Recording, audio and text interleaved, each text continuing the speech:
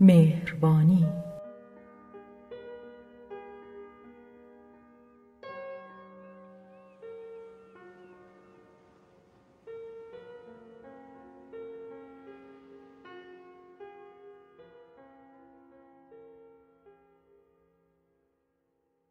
چشمها را باید گشود.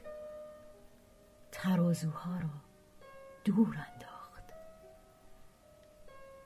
عشق و مهربانی سرشار انبوه و لبریز است. واحد اندازهگیری ندارد. قاب و قالب ندارد. رها و یله و آزاد است. رودی است که جاری می شود و سنگ ها را می غلطاند از سر راه دور می کند درخششی است مدام که تاریکی ها را روشن می کند موهبتی است که آدم را چون گل در بهاران می شکوفاند افسانه نیست قصه نیست معجزه نیست تاریخ و فلسفه نیست. ساده صمیمی آشنا. و نزدیک است.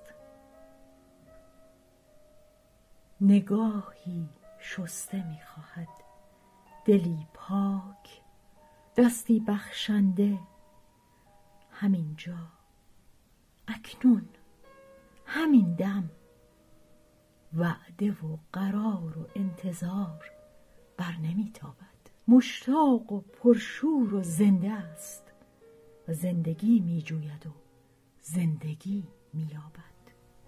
ارزشهایش کاغذی نیست بر کاغذ نیست به شمار نمی آید پسنداز نمی شود مثل نسیم هیچ است اما دل را می لرزاند و برگ جان را می جنباند عشق مهربانی مهر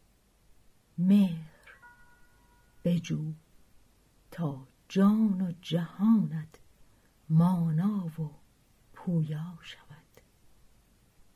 فردا؟ نه. همین حالا. شهرزاد فتوحی.